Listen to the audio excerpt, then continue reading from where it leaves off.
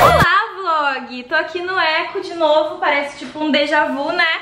Do vlog do, de quando a gente montou o closet.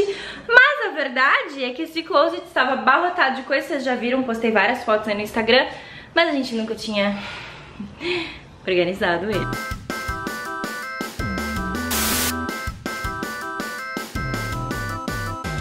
Então hoje, no Duda Todo Dia, em julho, eu resolvi fazer uma faxina no closet pra gente arrumar, porque eu tinha prometido isso pra vocês desde que montaram o closet, só que a verdade, gente, é que não deu tempo da gente parar pra arrumar isso aqui, porque leva, querendo ou não, um dia todo, né? Tu tirar todas as roupas, fazer uma limpa, tirar o que tu não usa mais, separar direitinho, era isso que eu queria fazer.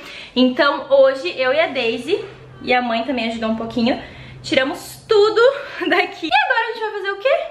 Vamos colocar de volta. E vocês vão fazer isso junto com a gente. Eu acabei de mostrar lá no Stories, mas eu não mostrei tudo, né, meu povo? Olha, olha o estado do quarto da menina. Tá a coisa mais linda, tá fácil de arrumar, tá rápido, prático e fácil. Aqui temos alguns cabides, e aí tu vai andando e andando e andando e tem mais isso aqui por aqui. Qual que foi a nossa estratégia, né? Quando a gente começou a tirar as coisas do lugar? Vamos separar por categorias. A Daisy tá se escondendo, vou mostrar ela. A nossa estratégia foi muito inteligente. O problema é que quando tu vai fazer faxina, essas estratégias nunca funcionam, né? A gente pensou, ó, vamos colocar as coisas de acordo com cores, de acordo com categorias. Nem preciso te dizer que não deu certo. Mas olha, gente, tão bonitinho ver ele assim, bem limpinho. A gente já limpou, tiramos pó, passamos paninho úmido, passamos tudo que foi coisa, lustramóveis. E aí agora tá na hora de organizar. Botar a mão na massa, Brasil, vamos lá! Bom, gente, as bolsas já dei uma organizada, por enquanto vai ficar assim, eu não tenho bolsa suficiente pra encher tanto, ó, então ficam uns buraquinhos meio vazios. Mas eu prefiro assim porque eu vejo tudo que eu tenho, sabe? Finalmente a gente conseguiu comprar os cabides de veludo, que é o que a gente mais queria ter aqui no closet pra não ficar com a roupa caindo, sabe? A vida inteira. Na casa da minha mãe a gente tinha aqueles cabidezinhos de plástico ou de madeira, aí tu pendurava as roupas ficavam tudo caindo, é tipo uma bosta, né? Vamos falar português claro. A gente conseguiu comprar os cabidezinhos e foi muito barato, porque cabide de veludo tende a ser meio caro, né? Aqui no Brasil. A gente pagou R$19,90 na caixa com 30, se eu não me engano, no Carrefour, mas tava em promoção, tá? Então se tem Carrefour por aí, fica de olho, porque às vezes eles têm uns preços ótimos. A gente vai tentar organizar por cor, então as coisas coloridas, assim, que eu não tenho muitas daquela cor, vão ficar mais nesse, nessa parte aqui, e as neutras, que são as que eu mais uso, tipo do branco, preto, cinza, jeans, pra cá. Agora posso levar um preto e branco? Pode, pode sim, mãe. Vamos começar pelos pretos. Aqui tem uma peça laranja, então depois eu vou ver o que eu vou fazer. Mas esse preto por enquanto fica aí. Aí aqui, ó, vou botar as mais curtinhas. E pra cá as mais compridinhas. Na verdade ele vai branco, viu, mana? Então, ó, tipo assim. Que aí, gurias, eu acho que fica muito mais fácil a gente ver o que a gente tem. Eu não vou criar muito um critério é, de jaqueta, blusa. Eu vou tentar dar uma organizada, mas não sei se eu vou conseguir. Então eu vou tentar só manter o critério de deixar as peças mais curtas aqui e as mais compridas nas extremidades. Vamos ver se vai dar certo. Esse cabide aqui vai ficar aqui por enquanto, mas vai sair. Então as peças brancas, mais compridas também eu vou deixar pra cá. Tô tentando criar meio que tipo blazer, jaqueta e tal. Vamos ver se vai dar. Depende aqui da quantidade. Preto e branco, se for mais branco, tipo essa peça aqui, eu vou deixar nos brancos. Se for mais preto, te bota nos pretos. Aí tô tentando fazer tipo um gradiente, né, dos tons de branco. Acho que eu já tô querendo demais, né?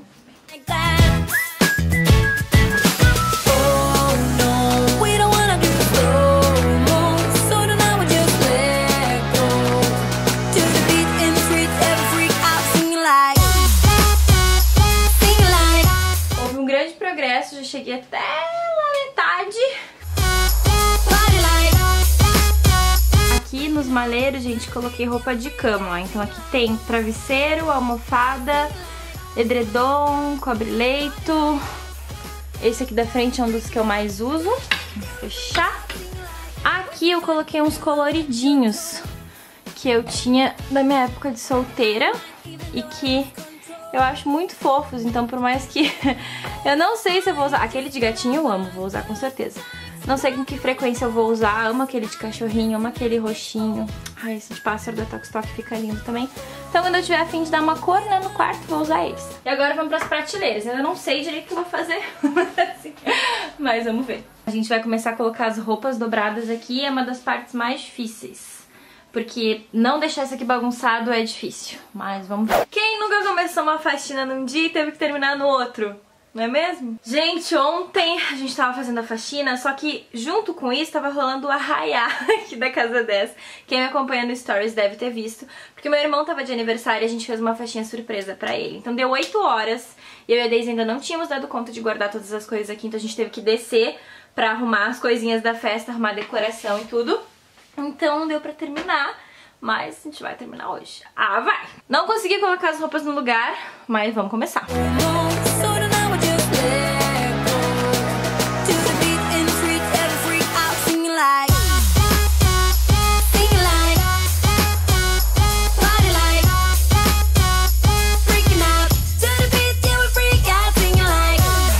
Aqui tá as coisas que a gente separou pra dar, ó. Muita coisa que eu vou levar lá na ONG 101 Vira-Latas, que eles fazem em brechó e arrecadam coisas pros cachorrinhos. É uma ONG aqui de Viamão. Nossa, gente, tô horrível. que inclusive quem quiser ajudar, eu vou deixar aqui embaixo o Instagram, o Facebook deles. Gente, ajudem porque é uma ONG muito séria, então quem puder, eles cuidam de mais de 400 animais hoje. E esses tempos aí eles estavam com muita dificuldade de ter ração pro dia a dia, sabe, dos cachorrinhos mesmo. Então, quem puder ajudar. Aqui tem mais uma sacola.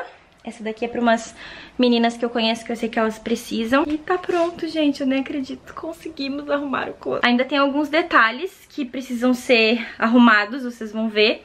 Faltam algumas coisas, mas já tá quase pronto. I'm just gonna close my eyes and pretend that I'm not here. All these empty faces talking about problems I don't care. I can't wait till sundown cause my body's aching. I just wanna dance, I just wanna dance. Don't you wanna party? Standing in the crowd, feeling heartbeat, everybody's carefree.